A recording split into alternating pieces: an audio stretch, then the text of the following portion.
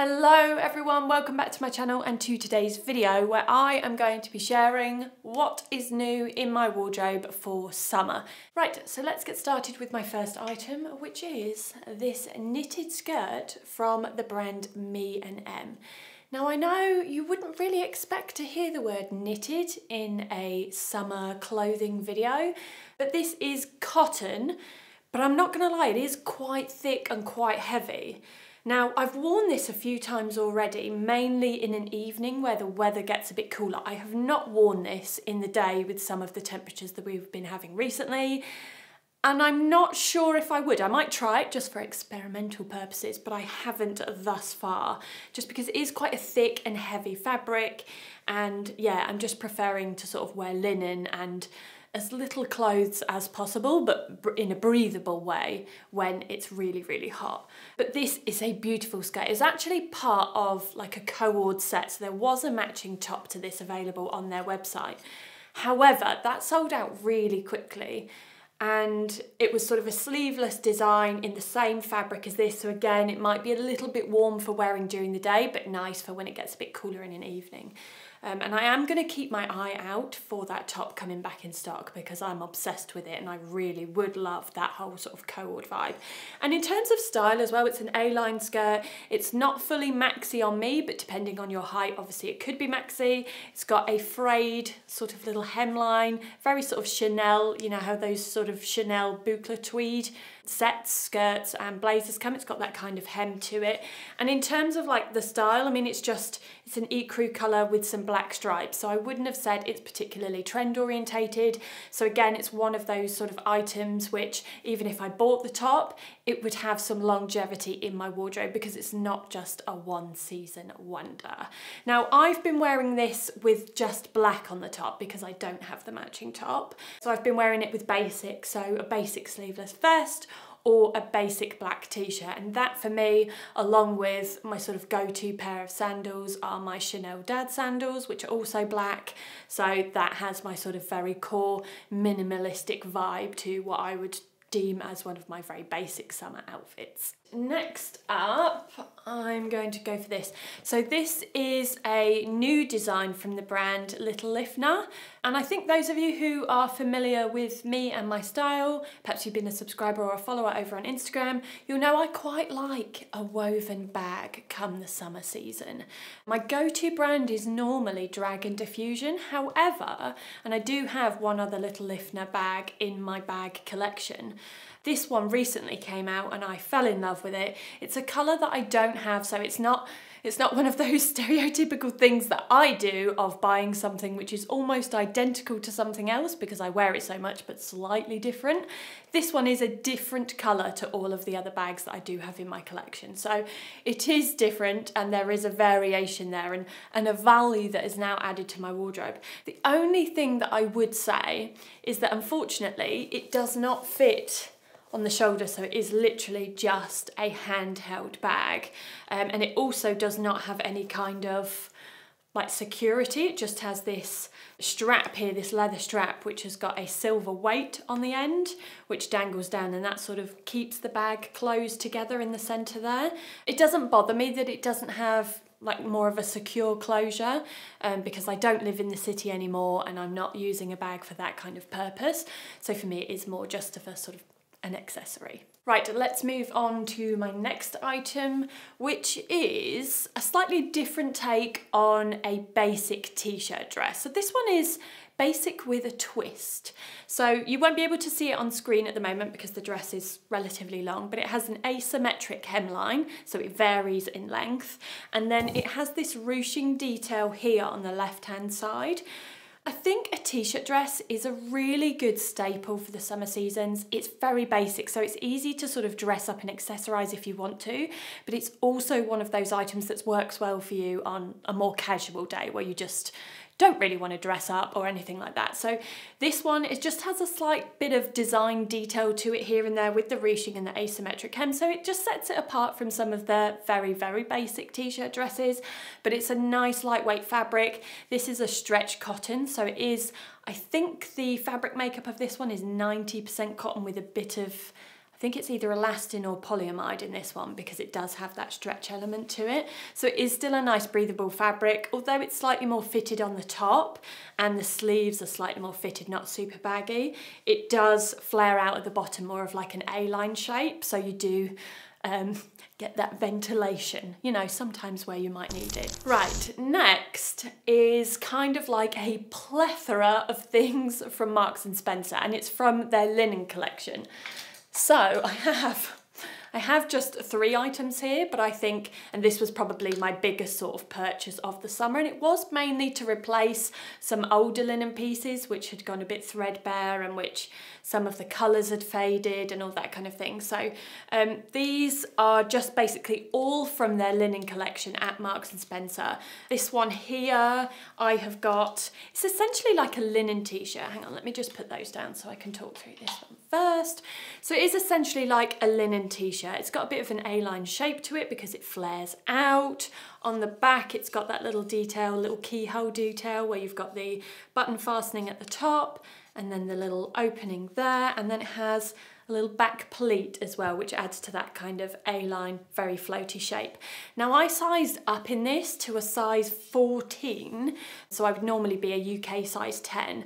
I always size up in Marks and Spencer's linen. In fact, I always size up in tops in general, I think, but when it comes to Marks and Spencer's linen, whether it be their shirts or items like this, I always size up by a couple of sizes at least, just because I prefer that slightly more oversized fit. And even if something is already oversized, I'll still upsize again just because that's my preference. And especially when it comes to the summer seasons, I just like to have things fitting very, very loose so that I get that ventilation and air on my skin. So this is just, I feel like a slightly dressier version of a basic t-shirt. So if I wanted to feel maybe like I've made a little bit more of an effort and not so basic t-shirt, then I would swap this one in instead. And then the linen trousers I've bought, I think maybe four pairs of linen trousers from Marks and Spencer this season. These are just a couple of them and I think actually I showed quite a few of them in some of my previous videos.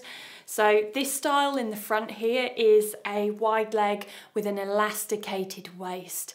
And I've spoken about this before, but I love elasticated waists. I have some digestive issues, so for me, when it comes, especially to summer season, because I feel like there's sort of temptations lurking out there. There's ice cream, there's bread and dip and all that kind of stuff. So I feel like it's it's one of those necessities within my wardrobe to have an elasticated waist just to, you know, accommodate the bloat.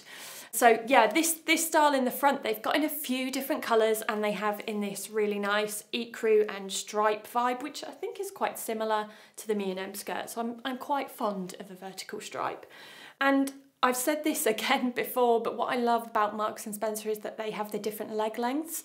So for me, I always go in their trousers for a 10 long, and it is one of the only uh, brands that accommodates for my leg length, and that is why I love them so. And then this pair here at the back is more of a tapered style. Again, they're in a 10 long. These ones are in white. They are very sheer, so you do have to wear nude underwear because underwear is very, very visible under this white colour. But they do come in a few other cool colours as well, and I think they have a couple of summer brights as well, if that is your thing. Next up on the list is another black dress. And yep, I know there'll be some people that really don't understand people wearing black in the summer. It's actually a scientific myth that black makes you feel hotter in summer. Anyway, yes, I love black. Black is by far one of my favourite colours in my wardrobe, and I know you can't even call it a colour because it's not a colour, but I love it. It makes me feel confident. I love it against my skin, against my hair. I loved it against my hair when I was blonde. I love it against my hair now that I'm darker. I love it with a tan and I always tend to get a little bit of a tan in summer and then I'll top it up with my fake tan as well. Uh, and this is again from Marks and Spencer, it's from their autograph range and this is a plissé style. I'd say it's like a column dress because it literally just goes straight down. On me it is a midi length but again that will depend on your height. It's obviously sleeveless with a round neck and there is also a little split either side at the bottom as well good for ventilation. I'm all about that ventilation. And I know I sound like a bit of a broken record here, but I think it's becoming quite clear that this is something that I look for in items when I'm buying them for my wardrobe. Versatility. Versatility is the word that I uh, always aim for. And this is one of those items which again can be dressed up or dressed down. I could wear this with chunky sandals or just, you know, skinny sandals or I could dress up for more of an evening vibe. It does have a slightly smarter feel to it, and I actually bought this because it has a very similar look and feel to it as the Issey Miyake Pleats Please collection, which some of you might have seen here and there. They have some very sort of basic pieces. It's all kind of items like this. In fact, I think they have a dress just like this. Um, but obviously the price tag will be considerably larger. So I opted for Marks and Sparks. Right, next up is a pair of sandals. They are chunky sandals.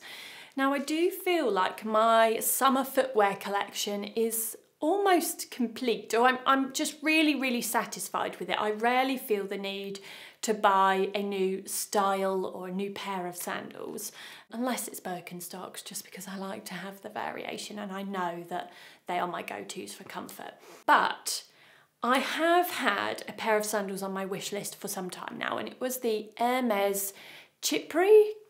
Chypre, I don't know how you pronounce it, um, but it's spelled C H Y P R E.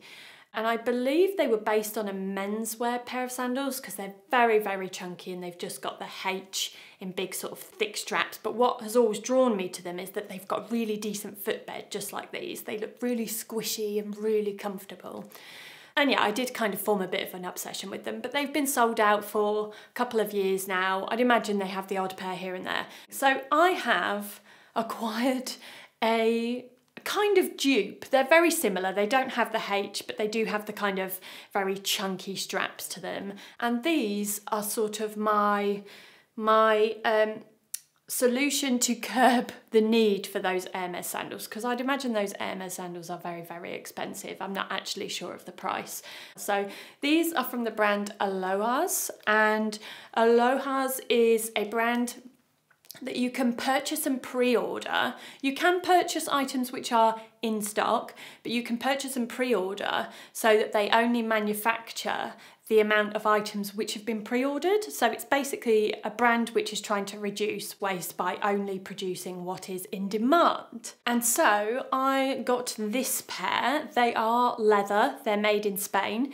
They've got quite a weight to them actually, and these are a size 40 which fit me perfectly. So I would say if you are in between sizes, like if you're a half size, which I am, I'm a 40.5, you can size down because they are a little bit generous. But yeah, I love these. They're chunky, which is just my vibe, and they go with a lot of the things in my wardrobe because they are like quite a neutral colour. Right, next item, it's not my last, no, next item. Now I've spoken about this before, I think maybe back in April time, I mentioned this for the first time, um, but this is the newest addition to my blazer collection and collaboration with The Curated. We've finally done a linen. It took a while to get the linen fabric right, to find the right samples. We got sent lots of different samples and none of them were quite right. Um, and then finally this one came along and it was mm, just right, or just right in my eyes anyway, because it's it's my design. Um, so yes, this is just basically the linen addition to my classic blazer collection. It is again, like all of the wool and cashmere ones, it is fully lined. It's single breasted with just the one central button and of course the vent at the back as well. Now as you can see here I have been wearing mine and I've been ruching up the sleeves so you can see there is a bit of creasing here on the sleeves and that is just the nature of linen. But I kind of like it, it makes it sort of I know a blazer kind of adds a smarter tailored element to an outfit but I think when it comes in a linen it gives it that kind of low-key vibe. Um, and I really love that. And I'm really, really, I'm obviously really, really pleased with the collaboration and the how the blazers came out in general. But this one, because I have such a love for linen, I'm really, really proud of this one. And finally, again, this is another item which you'll have seen either on my Instagram or in various videos over the last couple of months, but this was a new purchase for my summer wardrobe and it is a basket bag from Massimo Dutti, but it's uh, very similar to the Loewe basket bags that I've got, but what I wanted was something with no logo, so as you can see, there's no logo, and it is Massimo Dutti, so it's a high street brand, and I feel like high street brands are really good at not kind of plastering their, or at least some high street brands are good at not plastering their logo everything. And I like that because it keeps it a bit more low key. And it's, it's a decent size and it does fit over the shoulder nice and comfortably. It's not too big, not too small. And one thing that I was looking for is I have the Loewe basket bags, but of course with the tan leather hardware or the tan leather accents and straps and I was looking for something with black. So this finally came along and although it was I think just short of a hundred pounds which is quite expensive for high street but again it's one of those classic items which is you know a basket bag. It's one of those things you can bring out summer after summer after summer. It is not a trend. It is just summer appropriate. It's got um, so these straps are leather and then inside if you can see, it does actually have a bag within a bag. Um, so this is removable. It is a little canvas sort of pouch thing, again with leather, a zip on the top, and that can literally, you can either pop it in there or you can take it out, and that just keeps your things sort of concealed and hidden. And yeah, this I've been wearing a lot. This has actually been my most worn bag. I've actually been wearing this more than the Loewe bas more than the Loewe basket bags uh, this season. So that was a really, really good addition to my wardrobe. right, I am sweating. I have got sweat dripping down the backs of my legs and my neck. My hair is starting to mat. I'm warm. I need to go and remove this knitted dress. Um, so thank you very much for tuning in today, whatever day that may be, to watch me waffle on about what's new in my wardrobe. Um, I appreciate you guys always tuning in and also for all of your comments below. Thank you very much. Um, so yes, thank you again and I'll see you